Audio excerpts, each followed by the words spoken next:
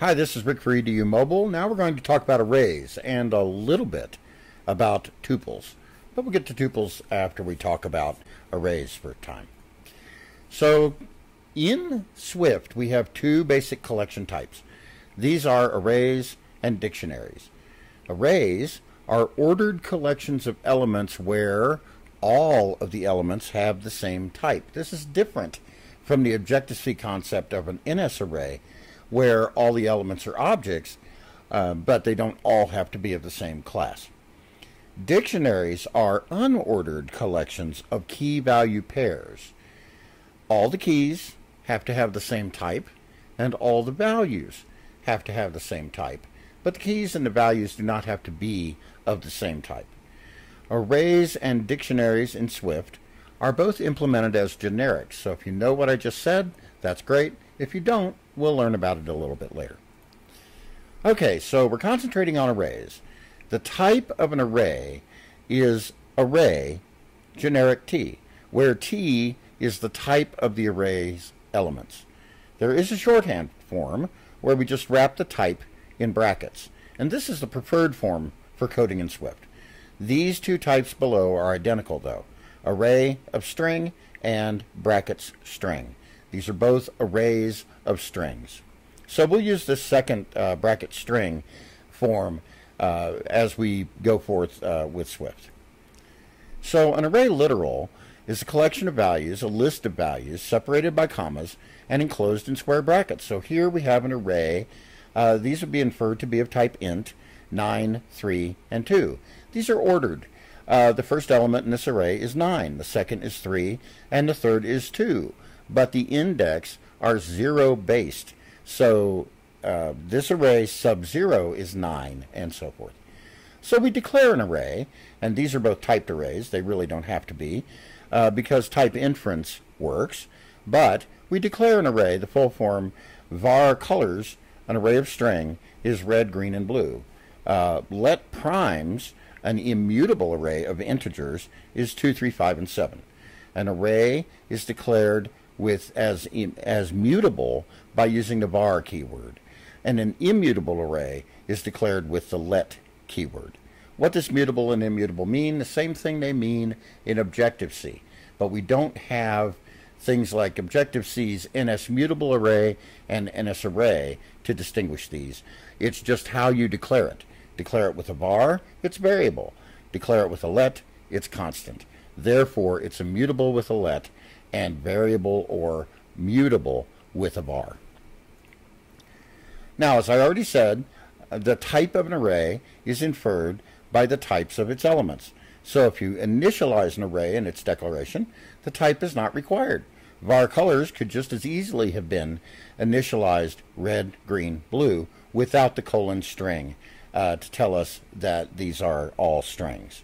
However, we can't say var colors equal red, green, and the integer 19 because all the elements in an array have to be the same type.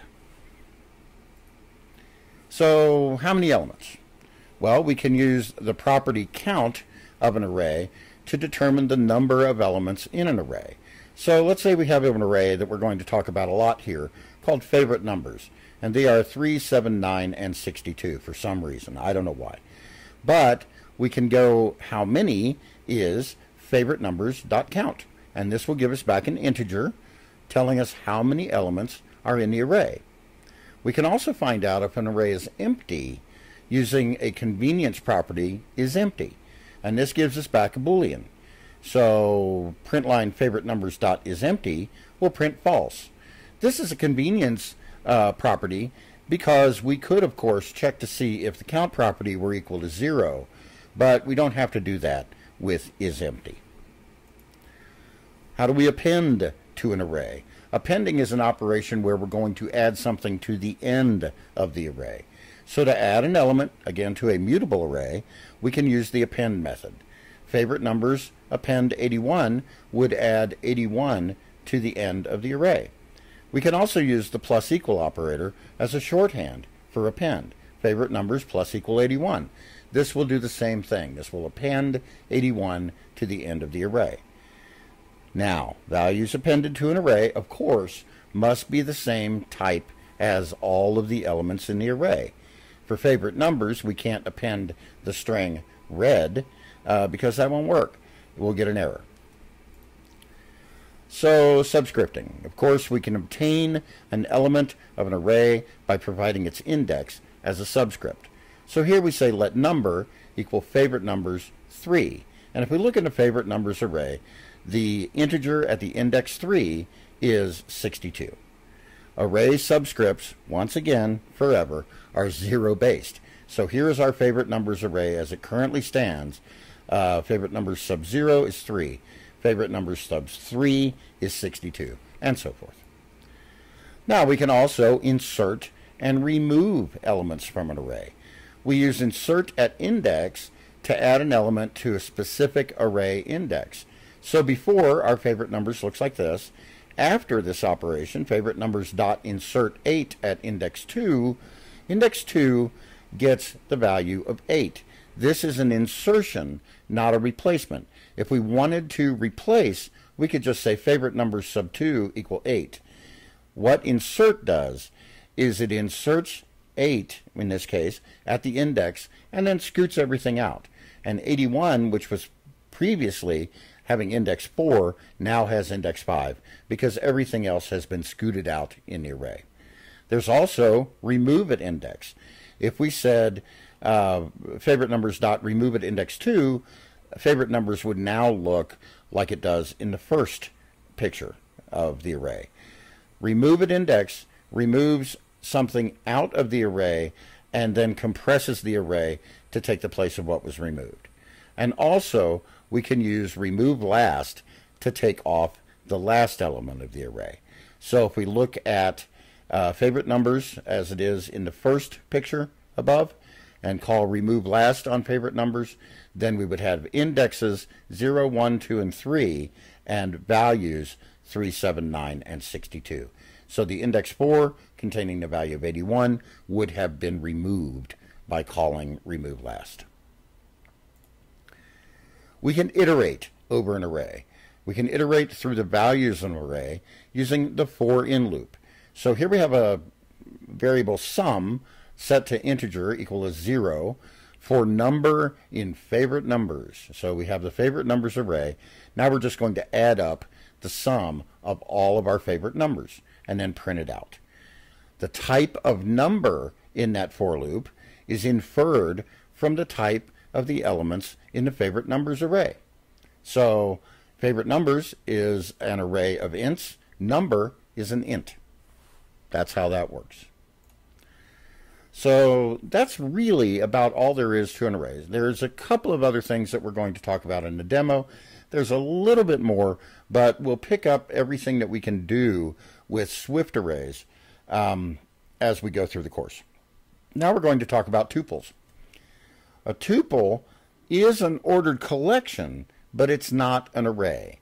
A tuple is an ordered collection of values of the same or different types. But don't get excited because you can't manipulate tuples like you can manipulate arrays. Tuples um, only glancingly have things like indexes. We can't append to a tuple. We can't insert at index with a tuple. We can't do all of that array stuff that we can that we could do with arrays. We can't do that with tuples. So don't get too excited. A tuple's values are enclosed in parens, not square brackets. So here we have a tuple called my tuple, which is 9, an integer 9, the string 9, and then the double 9.0. The type of this particular tuple is int string double. And this kind of tells you why we can't append to this. Because the full type name of this thing is int string double.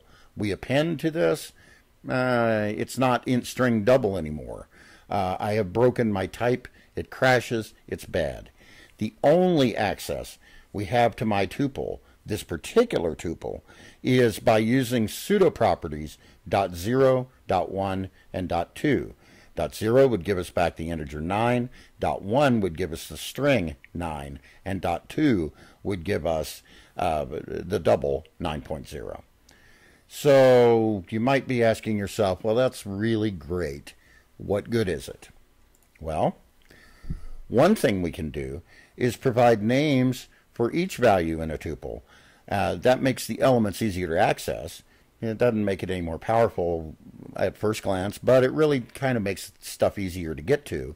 So here we have another tuple declared uh, to be of types uh, string and double, or car, character, and double, if you will.